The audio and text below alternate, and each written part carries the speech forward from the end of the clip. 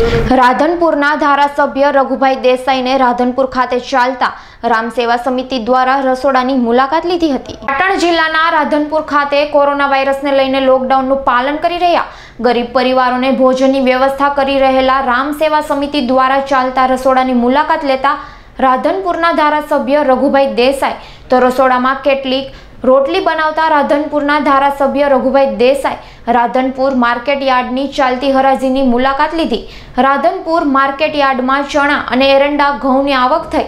ચણાની ટેકાના ભાવે ખરીદી કરવામાં આવે તેવી રાધનપુરના ધારાસભ્ય રઘુભાઈ દેસાઈ મુખ્યમંત્રી શ્રી વિજયભાઈ રૂપાણીને લેટર લખ્યો.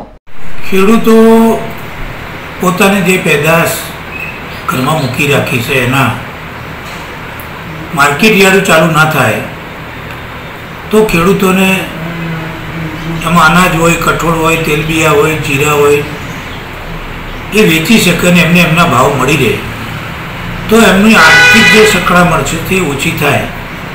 તેવી વારંવાર ગુજરાત સરકારને પણ મેં લેટર લખીને રજૂઆત કરી હતી. અને માનનીય કલેક્ટરશ્રીએ આજે અમારા ત્યાં માર્કેટ યાર્ડની મેં જે મુલાકાત લીધી એ પ્રમાણે માર્કેટ યાર્ડના ચૂંટાયેલી પાક અને વેપારીઓ અને ખેડૂતોએ ખૂબ સારી વ્યવસ્થા ગોઠવી છે. સોશિયલ ડિસ્ટન્સિંગ જાળવે છે. સાથે માર્કેટમાં અંદર એન્ટર થતાં પહેલાં એનું ટેમ્પરેચર મપાય છે. સેનિટાઈઝરનો સારો ઉપયોગ થાય છે.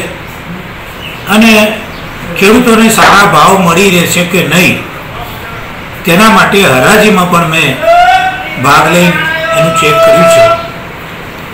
ખૂબ સારી વ્યવસ્થા રાધનપુર માર્કેટ યાર્ડે કરી છે. એના માટે માર્કેટ યાર્ડની ચૂંટાયેલી પાંચ વેપારીઓ અને ખેડૂતોને ખૂબ ખૂબ અભિનંદન પાઠવું છું. સાથે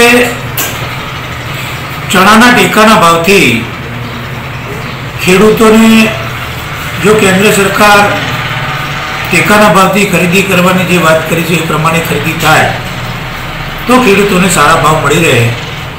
આજે સાતસો એંસી કે પંચ્યાસી રૂપિયાના આસપાસના ભાવ ચણાના હતા. પણ સરકારના ભાવ નવસો રૂપિયાથી વધારે છે ત્યારે ટેકાના ભાવે આ ખરીદીઓ થાય તો ખેડૂતોને સારા પૈસા મળી રહે તેના માટે પણ હું અત્યારે એક લેટર મુખ્યમંત્રીશ્રીને મારો મોકલી આપ્યો છે અને ખાસ કરીને રામસેવા સમિતિના ચાલતા રસોડાની પણ આપણે મુલાકાત લીધી. રામ સેવા સમિતિ દ્વારા જે રસોડું ચાલી રહ્યું છે તેમાં અત્યારે છથી સાત હજાર માણસો એક જ સમયે એટલે આખા દિવસમાં ચૌદથી પંદર હજાર લોકોનું રસોડું ત્યાં તૈયાર થાય છે. તેમાં રાજકોટથી રોટલી વણવાનું જે મશીન આવ્યું છે એ બધું મેં ચેક કરીને જોયું, ખૂબ સારી રોટલી પુલકાઓ બને છે. અને સારું ભોજન, દાળ, ભાત, શાક, રોટલી ને છાશ લોકો સુધી પહોંચે એની શ્રીરામ સેવા સમિતિ તરફથી. ખૂબ સારું આયોજન, આઠ એક ગાડીઓની વ્યવસ્થાઓ છે અને લોકોને આ ભોજન પર્યાપ્ત મળી રહે.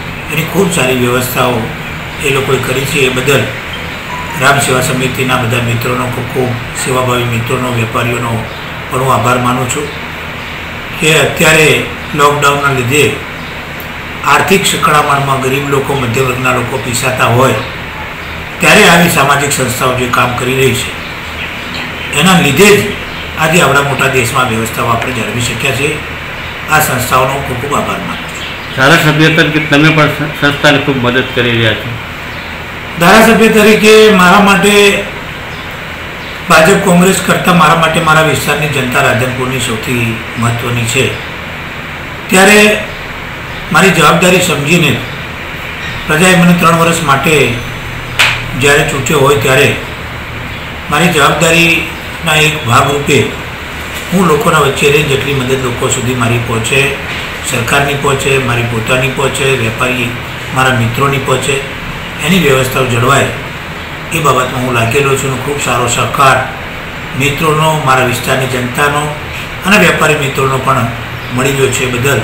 જેને મને સહકાર, સાથ અને આ સંવેદનામાં મારા ભાગીદાર બન્યા છે, એ બધાનો ખૂબ ખૂબ આભારી છું. ભરત સથવારાનો રિપોર્ટ, રાધનપુર.